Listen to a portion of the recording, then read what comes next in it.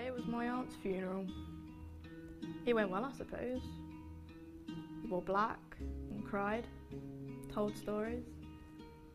But I couldn't help thinking how many more stories we could have told if her funeral would have been years later. How my nine year old cousin could have been an adult, not a boy, and how she could have had grandchildren. But she didn't get grandchildren. She got lung cancer and a spring funeral and stupid little pamphlets with a bad photo of her on them. She paid for her cigarettes in years, and yes, perhaps some pay more and some pay less, but everyone pays, and she knew she didn't stop.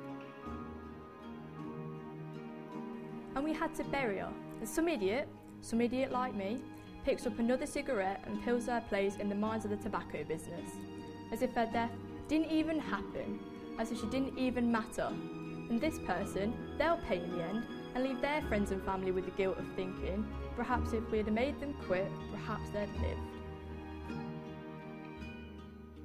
Yesterday, I decided that from now on, my life will be ruled by this. Not this. I'm done with using my ears up for this.